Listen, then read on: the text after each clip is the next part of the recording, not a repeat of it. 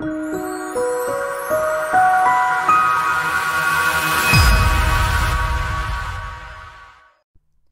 everybody.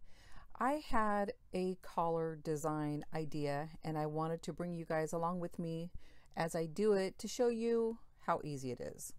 So at first I was thinking about taking the collar stand off, but I really just want to do the collar. So I'm going to mark the collar stand right here so that when I redesign the collar and put it back, I will know where it needs to go without having to remeasure. And I think it would be pretty easy because along this area right here is basically top stitched. So I think it would be really easy to just remove it, redesign, and put it back on using a top stitch. Now the first thing you're going to do is remove the collar.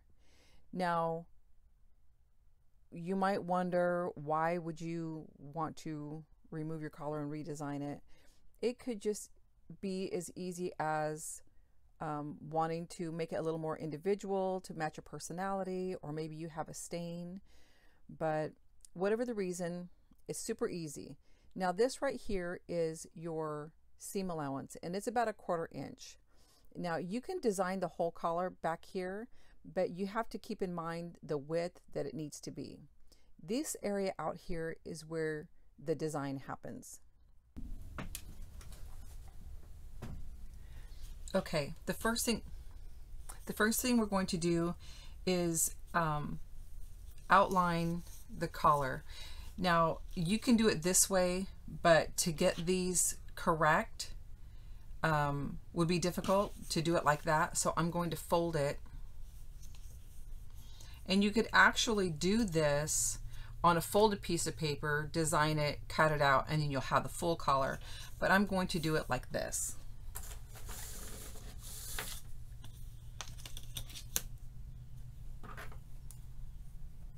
This will be my fold line.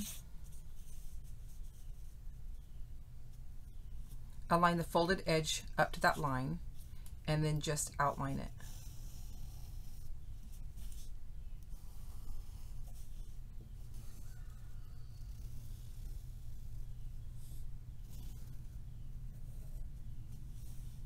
And if you watched my last video, I believe it was my last video, I showed some, some collars that I had designed for a client and friend.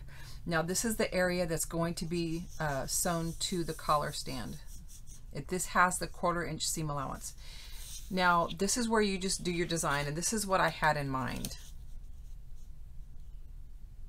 So I'm going to take this line here and I'm going to extend it by a full inch.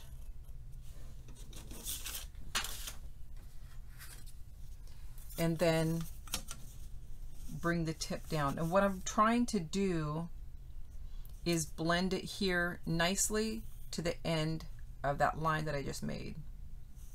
So you just keep moving your ruler until you get what you want. So it's blending here and it's meeting here Okay, so that's our new collar.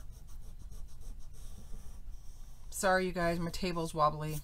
I, try, I have to try to remember not to move the table too much. Now from here, what I wanted to do is just remove that tip because I want to make a square tip collar. Now I'm going to add, sorry guys, the seam allowance. And that's going to be a quarter inch.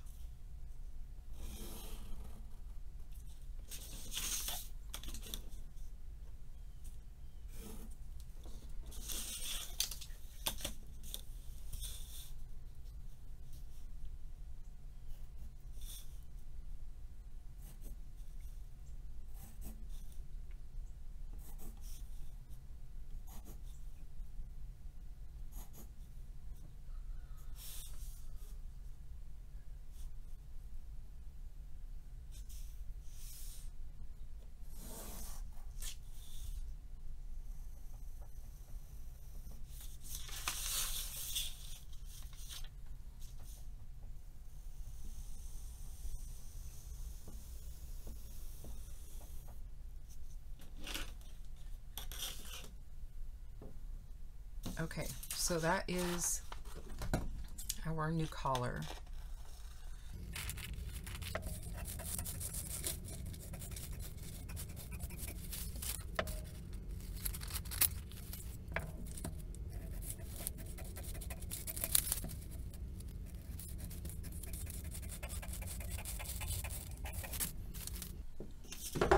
All right, and that is the collar. This right here will align the fold of your fabric.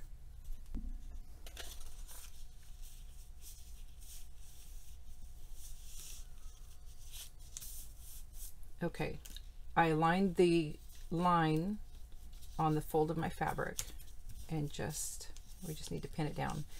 Now, this fabric is kind of thick, so um, I'm going to do a thin white fabric on the backing for this um, tutorial.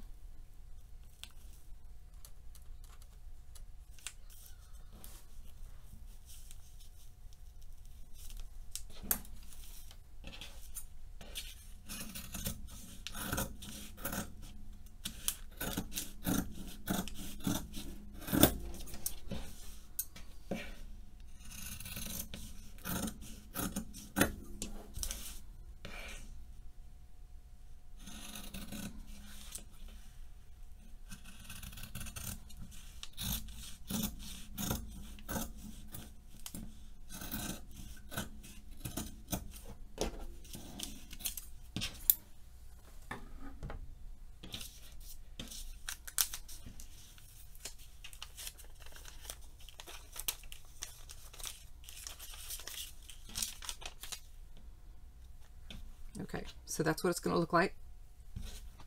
Now for the white fabric. Now you guys, um, people are going to have opinions. Um, you shouldn't cut it out that way. You shouldn't put it now that way. You shouldn't whatever. Um, if it works best for you, do it. I This may not be industry standards, but um, I don't work for another company, so this is how I do it. It works for me. So you guys, I encourage you to play around with it, you know. If you're doing alterations, this might be something that um, you offer your customers that maybe someone else wouldn't, or you could add um, redesign in what you offer your customers.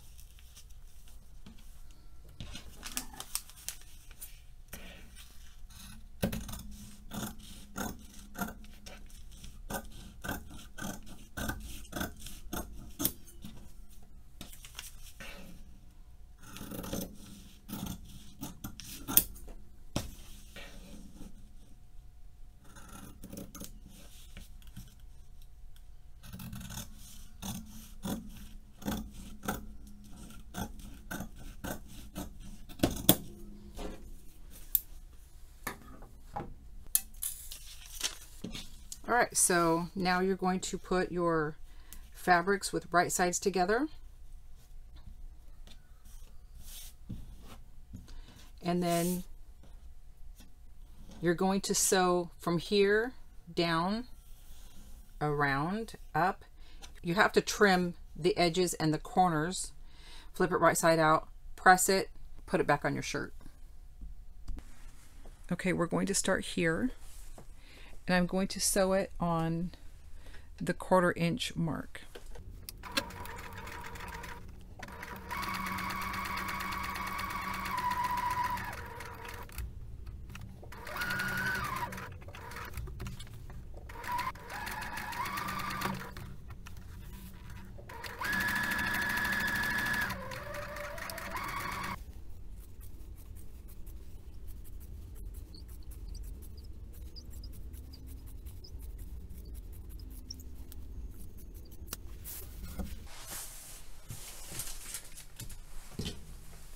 Right, you guys, it's time to get the collar back on. This is what it looks like.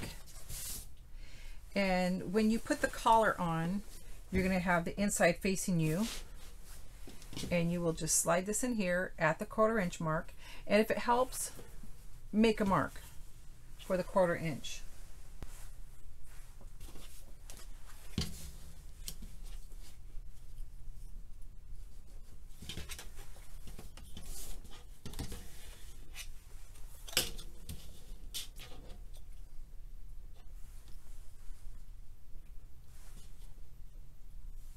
I would not recommend using the yellow chalk when making your clothing unless it's going to be somewhere where you can't see. This one you will be able to see because I have to make sure that I can see the mark when I put the shirt back into, or the collar back into the shirt.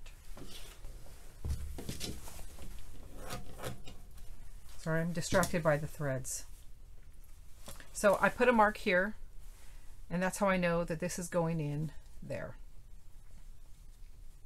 I guess I should have marked the other side so you couldn't see it, but no one will be wearing this.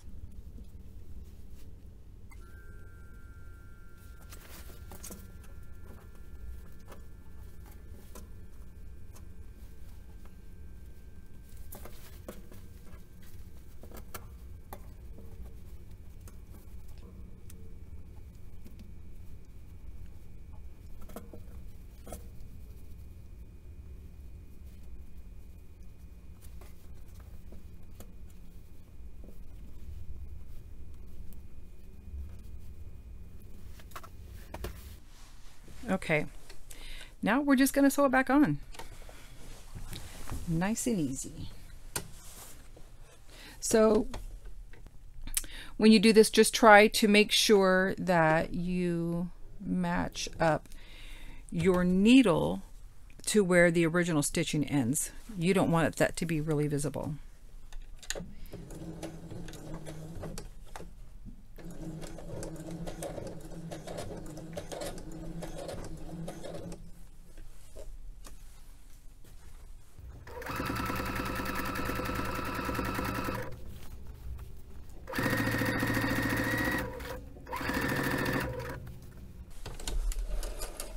Okay, the only problem I I can think of with this is if the back of the collar or the back of the collar stand didn't get caught up in the stitching. But we're going to check that out. So this is what the front looks like.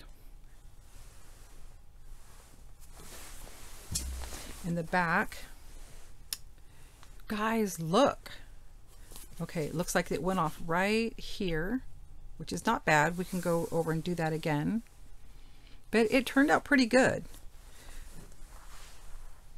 The only thing is uh, with this, if I would have pinned it a little closer together, that probably would have taken care of that. But that's not a big deal. I can go over and do that again. You guys, I didn't think I was going to like it, but I kind of do.